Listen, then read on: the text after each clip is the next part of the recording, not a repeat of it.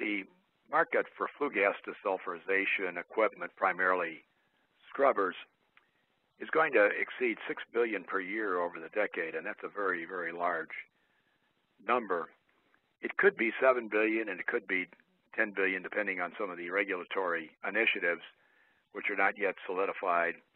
But in any case, it is going to be a very big market.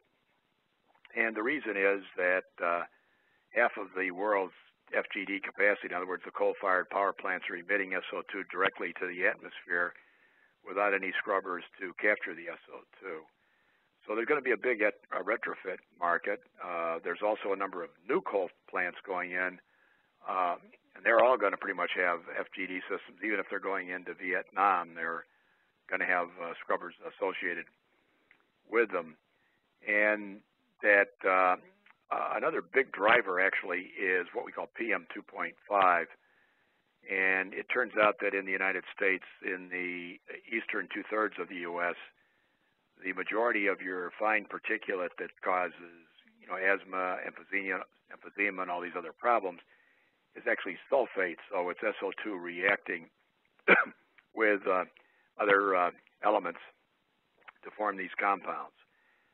So in addition to SO2 regulations, the PM 2.5 regulations will also pretty much ensure that everybody has to put in a scrubber. And there are other decisions such as some of the problems with the nuclear and, and countries like Germany that are going to be building more coal plants now because of retiring their nuclear fleet. Uh, there's also an initiative to replace all the U.S. coal fleets with new ultra supercritical plants that would greatly reduce all the emissions and even reduce uh, CO2 by 30%, not increase the price of electricity. So a lot of very good things, and the McIlvaine company is very much involved in that whole analysis, um, uh, and in, you see that in some of our other news releases. But anyway, the uh, here are the numbers that we came out with. As you can see, with uh, the new new systems, conservative uh, versus replacements, and so forth. So, um, you know, that on the wet calcium systems, uh, you know, we can go from four billion to six billion, with the replacement market either way pretty much being uh, a couple billion a year. Dry lime is a uh, uh, equally large range, but much smaller numbers.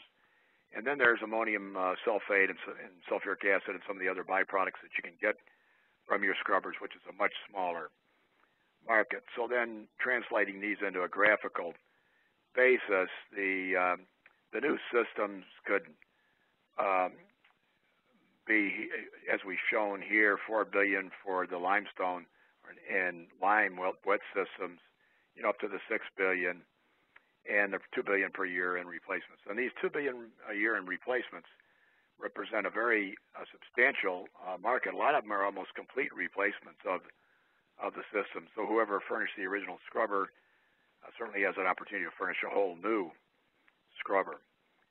So this is a very good size market.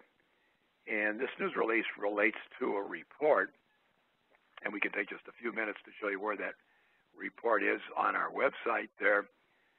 We're going to uh, uh, click on share and go to the web browser, and we will show you the report itself. It's on our, uh, here's the McIlvaine Company homepage popping up. And then we go to subscriber login, and we look at air services, and we go down to the FGD World Market Report, world right here.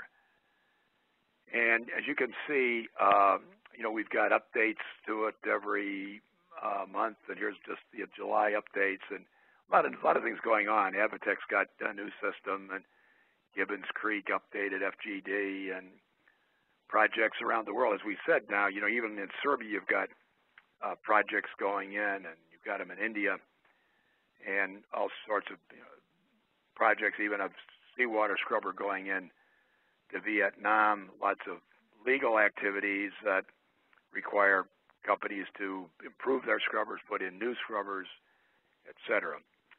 So, and you can go in our specific FGD forecast, and you can go in by country, and we do it by megawatts. So you can take um, Germany, for instance, and see how many new megawatts of scrubbers there will be in a particular year, new construction, and so forth. So we do have another um, YouTube presentation that gets into the whole report, but this was mainly meant to cover what was in this uh, early July 2011 news release.